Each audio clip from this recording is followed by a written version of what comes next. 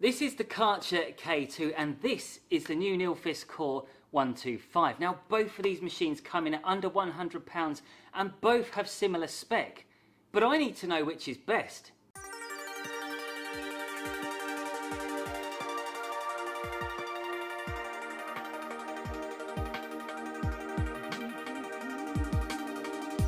Today I'm putting these two pressure washers to the test and I want to see which is the best option for those of you who are on a budget. So if you want to stick around till the very end of the video, I will be crowning one of these machines the ultimate compact champion of 2021.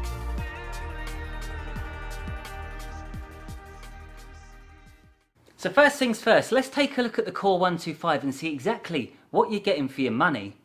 Well, for £90, you're getting a 5 metre hose, a 5 metre electric cable, and two nozzles, one which is ideal for your general cleaning, and the other one is perfect for patio cleaning. It's even got a quick release to make life a lot easier too. You also get a chemical bottle which isn't to be confused with a snow foam cannon, but most importantly, this machine comes with an aluminium pump, which means it could potentially have better reliability than your average domestic pressure washer. So Nilfisk have really thought outside of the box and they've been so clever. Now this is something that Karcher have not done and they still can't do. And what that is, is this hose reel can easily be rolled up and you can put it in here. Everything's got its own storage compartment. Even the nozzles that go on the end, they simply clip in, clip out, and there's even a little holder for your snow foam lance or your chemical lance. It is so fantastic. Everything has been thought out perfectly. And for a machine this small, it's unbelievable. And take the Lance for example, this is absolutely perfect. It's so solidly built, doesn't feel cheap either. Everything feels nice and solid, nice and tight, and you feel like you can trust it. This is a match made in heaven. As long as it performs well, I think we're on to a winner. Moving on to the Karcher K2 now, and in this video you'll see there are many different shapes and sizes of this machine. You've got the standard K2, you've got the compact, and you've got the classic, all of which have exactly the same components inside. So essentially, you're buying the same machine with a different body. So as you may have saw in a previous video, I have already done a full review on the Karcher K2. And I'll be honest, I was a little brutal, but with good reason. The machine was so light, but it kept falling over, and the hose that they supplied you was ridiculously short. So first of all, let's have a look at the lance. And this God, you know what? This feels like the sort of thing that you get in a Happy Meal at McDonald's. It doesn't feel very strong at all, and it has got a quick release, but it doesn't feel that quick and easy to use, whereas the Nilfisk, you just pull it, and it comes out, and it's pretty secure, but for this, I'm still not sure. But anyway, I want to give it another crack, and I want to see how it's going to compete against a similar machine in a similar price bracket. So for round one, the build quality and design point goes to Nilfisk. Moving on to round two, we will be seeing which machines work when connected to a water tank. And in my test, both machines managed to draw water from the tank out of my van, but make sure the pressure washer is lower than the tank itself. So basically let gravity force the water down into the pressure washer if you want to get the best results. So for round two, each machine gets a point, taking it to 2-1. Moving on to round three now, and we're going to be talking all about the price.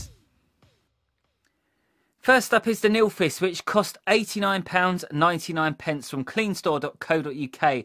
Now, that is a very tasty price when you look at what you're getting for your money. And I know the website looks a tad dated, but in fact, it is a very good place to get affordable pressure washers. And so far to this date, this is the cheapest price for this model right now. So we previously established that the Karcher has many different variations of this machine, so you can get a much better deal and prices can start from as little as £69. Alternatively, if you want to get one which has been refurbished from Karcher Outlet, you can get them for as little as £49. So when it comes to pricing, the clear winner goes to Karcher and that takes the score back to 2-2. It's time to test their very own snow foam cannons and I've already made a full review on the Karcher snow foam cannon which I'll put a link in the description below. And in testing I was really disappointed with the weakness of the foam. Even using different dilution rates I just wasn't getting the foam I wanted with the FJ6. But then I turned to the Nilfisk and I wasn't exactly feeling positive about that one either and both foam cannons simply weren't getting the right consistency. So I tried out the MJJC version 2 with a thicker mix of snow foam, and as you can see the difference between the cannons is night and day. But the MJJC, like the others, used way too much chemical from a bottle and it ran out far too quickly, and thicker foam doesn't always mean better either.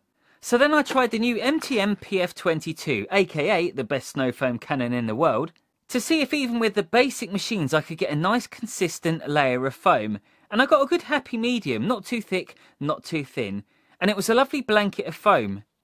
But the brutal truth for their own branded snow foam cannons was clear to me. I couldn't pick a winner as they were both so bad, so the score stays the same.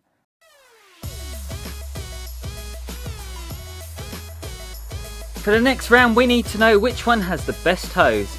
So in my left hand I've got the Nilfisk hose, in my right hand I've got the Karcher one and instantly you can tell the difference. The Karcher one is incredibly stiff. And one of the massive problems and one of the complaints that they still haven't addressed is the fact that it always coils up. So what happens is when you're cleaning your car or your patio, you try and unwind it, you pull it and then the machine falls over. Nilfisk have gone one better. They have corrected that. You don't even get any twists or anything. You actually have a nice solid hose. It's very flexible and even when it's got a lot of pressure, it just doesn't coil up at all. So it's definitely going to be an extra point for the Nilfisk. So Nilfisk have easily earned themselves another point. So I've had both of these machines now for the past two weeks and I can honestly say the Nilfisk one, hands down, every single time I used it I was just like wow, this is actually a pretty good machine. Now look, both of these machines are incredibly underpowered, but you're not paying a lot of money. At the end of the day, both of these are going to cost less than a hundred quid. So I don't know what you would really expect from a machine with that sort of price tag. But at the end of the day, it's the little things, it's the little details I love about it. Just the way that everything can be folded up, can be put away. You can put it out the way in the shed and you know that next time you get it out and plug it in, it's going to work. And as for the Karcher, you don't need me to tell you that these machines have a horrendous reliability record. You just check out on the forums and what people commented. There is so much hate and negativity towards the machine. It is luck of the draw, but to be fair, the one that I've been using in these videos has actually been fine. It's actually been working okay. And if I was to part with my money and I had to buy just one of these machines, the Nilfisk is going to win, hands down. It was just in a class of its own. And if you want to see more pressure washer videos, I have a dedicated playlist all about my reviews and I also cover different electrical equipment within the valeting and detailing industry. So do make sure you check it out. I'll also put a link to that playlist in the description below. As for me i'm gonna love you and leave you because i'm back with a brand new video in the middle of the week and i'll see you later. Bye bye